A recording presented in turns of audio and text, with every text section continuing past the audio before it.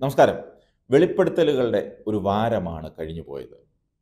കഴിഞ്ഞ ഏഴ് ദിവസം കൊണ്ട് പ്രധാനപ്പെട്ട മൂന്ന് വെളിപ്പെടുത്തലുകളാണ് കേരള രാഷ്ട്രീയത്തിലുണ്ടായത്.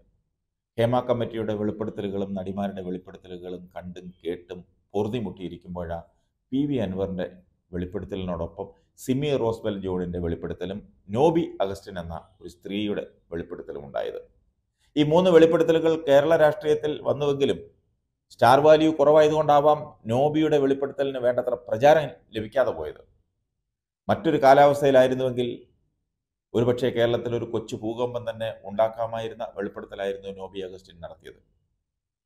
എന്നാൽ മുഖ്യധാര മാധ്യമങ്ങളെല്ലാം വാർത്തയിലെ ധർമ്മം മാറ്റിവെച്ച് മർമ്മം നോക്കി അൻവറിന്റെ പുറകെ പോയി. രണ്ടായിരത്തി പതിമൂന്നിൽ ഉമ്മൻചാണ്ടി മന്ത്രിസഭ ആ മന്ത്രിസഭ പ്രതിസന്ധിയിലായപ്പോൾ അതിനെ അട്ടിമറിക്കാൻ നോബി അഗസ്റ്റിൻ എന്ന സ്ത്രീയെ ഉപയോഗിച്ച് പ്രതിപക്ഷത്തെ ഒരു എം എൽ എയുടെ പേരിൽ ആരോപണം ഉയർത്തുകയും അന്നത് വലിയ സംഭവമായി എല്ലാ മാധ്യമങ്ങളും കൊട്ടിഘോഷിക്കുകയും ചെയ്തു. പ്ലാവില കാണിച്ച് ആട്ടിൻകുട്ടിയെ കൊണ്ടുപോകുന്നത് പോലെ പണവും അധികാരവും കാണിച്ച് ഈ സ്ത്രീയെ മോഹന വലയത്തിലാക്കി വെറുതെ ഇരുന്ന ഒരു മനുഷ്യനെ വിളിച്ചു കൊണ്ടുവന്ന് ഭീഷണിപ്പെടുത്തി ഫോട്ടോ എടുപ്പിച്ച് അയാളുടെ കുടുംബം കുട്ടിച്ചൊറാക്കി. അതേ സ്ത്രീ അന്ന് ചെയ്ത കുറ്റമെല്ലാം ഇന്ന് ഏറ്റുപറയുമ്പോൾ അതൊന്ന് പറയാൻ പോലും ഒരു മാധ്യമങ്ങളും മുന്നോട്ട് വരാഞ്ഞത് വളരെ ഖേദകരമായി പോയി ഷമീർ ഷാഹുദ്ദീൻ വർക്കല എന്നൊരാൾ അയാളുടെ സ്വന്തം യൂട്യൂബ് ചാനലിലൂടെയാണ് ഈ സ്ത്രീയുടെ ശബ്ദരേഖ ശകലങ്ങളായി മൂന്ന് തവണയായി പുറത്തുവിട്ടത്. ഷമീർ ഷാഹുദ്ദീൻ പറയുന്നത് ശരിയാണെങ്കിൽ ഇന്ന് മുഖ്യധാര മാധ്യമങ്ങളിൽ നിൽക്കുന്ന മുഴുവൻ കാര്യങ്ങളെക്കാൾ ഗൗരവമുള്ള കാര്യമാണ് നോബി അഗസ്റ്റിൻ പറഞ്ഞുകൊണ്ടിരിക്കുന്നത്. നോബി അഗസ്റ്റിൻ ആദ്യം വിളിച്ച് സംസാരിക്കുന്നത് തിരുവഞ്ചൂർ രാധാകൃഷ്ണൻ എന്ന എം എൽ എ ആണ്. അദ്ദേഹത്തിന് അവരെ പരിചയമില്ലെന്ന് അവരുടെ സംഭാഷണത്തിൽ നിന്ന് നമുക്ക് മനസ്സിലാകും. മാത്രമല്ല അദ്ദേഹം ഇതിൽ ഇടപെടാൻ താല്പര്യവും കാണിച്ചില്ല. ആര് വിളിച്ചാലും ഫോൺ എടുക്കുന്ന സ്വഭാവമുള്ള തിരുവഞ്ചൂർ തനിക്ക് വന്ന ഫോൺ കോളിന് ശാന്തമായി മറുപടി പറഞ്ഞുവെന്ന് മാത്രമേ അതിൽ നിന്ന് മനസ്സിലാകത്തുള്ളൂ. എന്നാൽ നടന്ന സംഭവങ്ങൾ നോബി തിരുവഞ്ചൂരിന് വിശദീകരിച്ചു കൊടുക്കുന്നുണ്ട്. തനിക്കതിൽ ഇടപെടാൻ സാധിക്കില്ലെന്ന് തിരുവ വ്യക്തമായി തിരുവഞ്ചൂർ പറയുന്നതും നമുക്ക് കേൾക്കാം. അങ്ങനെയാണ് തിരുവഞ്ചൂർ സംഭാഷണം അവസാനിപ്പിക്കുന്നത്. പിന്നീട് വിളിക്കുന്നത് മുൻ കെ പി സി സി പ്രസിഡന്റും മുൻ ആഭ്യന്തരമന്ത്രിയുമായിരുന്ന രമേശ് ചെന്നിത്തലയാണ്. ചെന്നിത്തലയുമായുള്ള സംഭാഷണത്തിൽ ഇവർ ചെന്നിത്തലയെ ഓഫീസിൽ ചെന്ന് കണ്ടിട്ടുള്ളതായി നമുക്ക് മനസ്സിലാക്കാം. ചെന്നിത്തല ഈ വിഷയത്തിൽ ഇടപെട്ട് ഇരുപത്തിയെട്ട് ലക്ഷം രൂപ ഇവർക്ക് വാങ്ങിക്കൊടുത്തതായി ആ സംഭാഷണത്തിൽ നിന്നും വ്യക്തമാണ്. ശബ്ദരേഖയിലെ ശബ്ദം ശരിയാണെങ്കിൽ അതായത് അത് യഥാർത്ഥമാണെങ്കിൽ ചെന്നിത്തലയുടെ പ്രവൃത്തി ഏറ്റവും അധാർമികമാണ്. ഒരു മന്ത്രിസഭയെ പിടിച്ചു നിർത്തുവാൻ വേണ്ടി ഒരു സ്ത്രീയുടെ മാനം വെച്ച് കളിക്കുകയും പുരുഷന്റെ കുടുംബം തകർക്കുകയും ചെയ്തത് അന്നത്തെ ആഭ്യന്തരമന്ത്രി കൂടി അറിഞ്ഞിട്ടാണെന്നാണ് മനസ്സിലാക്കാൻ കഴിയുന്നത്. നോബിയുടെ സംഭാഷണത്തിൽ നിന്നും ഏതാണ്ട് ഒരു കോടി ഇരുപത്തിയെട്ട് ലക്ഷം രൂപ അവർക്ക് കിട്ടിയെന്നും ബാക്കി തുകയ്ക്ക് വേണ്ടിയാണ് ബെന്നി ബേനാന്റെ പിറകെ നടക്കുന്നതെന്നുമാണ് മനസ്സിലാക്കാൻ സാധിക്കുന്നത്. ശബ്ദരേഖയിൽ പല സ്ഥലത്തും പറയുന്ന തുകകളിൽ ചെറിയ ചെറിയ വ്യത്യാസങ്ങൾ ഒക്കെ വന്നിരുന്നു വരുന്നുണ്ടെങ്കിലും തുകയിലുള്ള വ്യക്തത കുറവ് മാത്രമാണ് അതിലെ പോരായ്മയുള്ളത്. ശബ്ദരേഖ ശരിയാണെങ്കിൽ ഗൗരവത്തിൽ എടുക്കേണ്ട സംഗതി തന്നെയാണ്.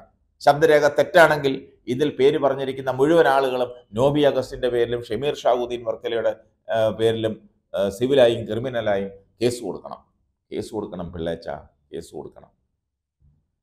പിന്നീട് അവർ സംസാരിക്കുന്നത് കുഞ്ഞാലിക്കുട്ടിയുടെ അടുപ്പക്കാരനായ ഒരു മൊയ്തീൻ എന്ന ആളോടാണ്. ആ സംഭാഷണത്തിൽ പഴയ Pattambi M L A C P മുഹമ്മദിന്റെ ഉൾപ്പെടെ പല പേരുകളും പറയുന്നു.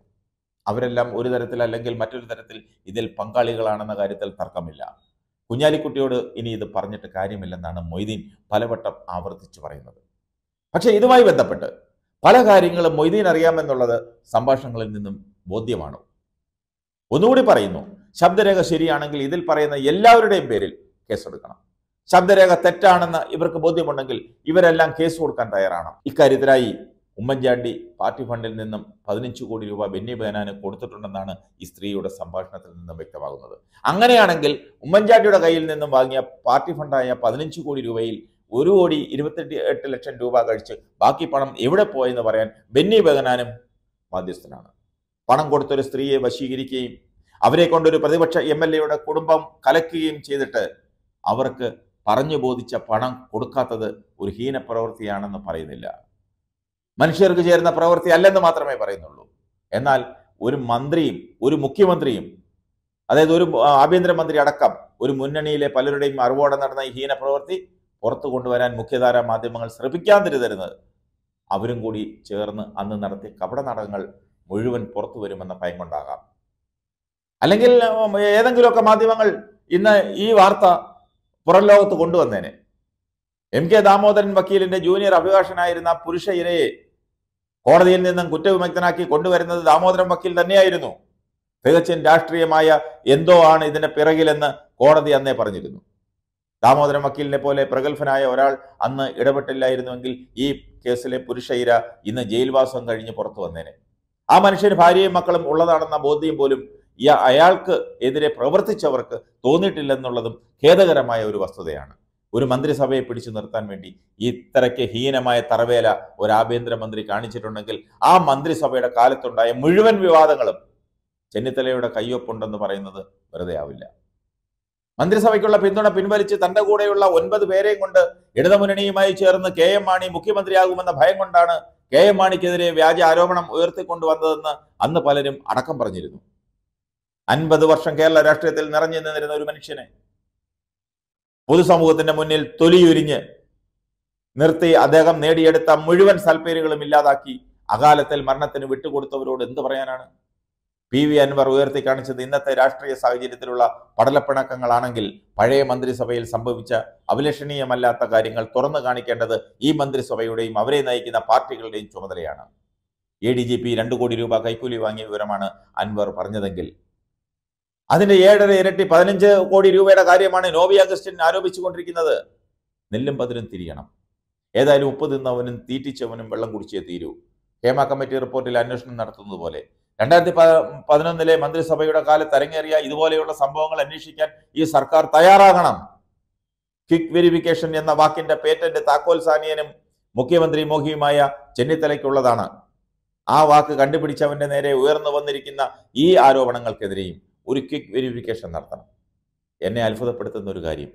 ഇതെല്ലാം വെളിപ്പെടുത്തുന്ന യൂട്യൂബ് ചാനലുടമ വർക്കലക്കാരൻ എന്തുകൊണ്ട് ഇതൊരു വെള്ളക്കടലാസിൽ എഴുതി പോലീസ് സ്റ്റേഷനിൽ കൊടുക്കാൻ തയ്യാറാകുന്നില്ലെന്നുള്ളതാണ്. ഇത് പൊതു താല്പര്യമുള്ള ഒരു കാര്യമാണ്. നോബി അഗസ്റ്റിന്റെ കയ്യിൽ നിന്ന് കിട്ടിയ ശബ്ദരേഖ.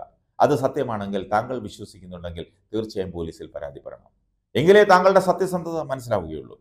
ഇത്രയൊക്കെ കാര്യങ്ങൾ പുറത്തു വന്നിട്ട്.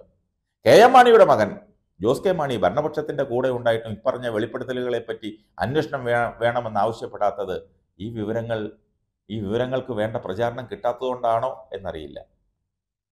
പറഞ്ഞ കാര്യങ്ങളെ പറ്റിയെല്ലാം അന്വേഷിക്കണമെന്ന് ഒരു വെള്ളക്കടലാസിൽ എഴുതി മുന്നണി നേതൃത്വത്തിനും ആഭ്യന്തര വകുപ്പിന്റെ ചുമതലയുള്ള മുഖ്യമന്ത്രിക്കും കൊടുക്കാൻ കേരള കോൺഗ്രസിലെ ഏതെങ്കിലും ഒരു പുങ്കുവൻ തയ്യാറാകണം. നോബി അഗസ്റ്റിൻ വിതച്ചത് കാറ്റാണെങ്കിൽ അത് കൊടുങ്കാറ്റായി കൊയ്യേണ്ട ചുമതല അന്നത്തെ പ്രതിപക്ഷത്തിനുള്ളതാണ്.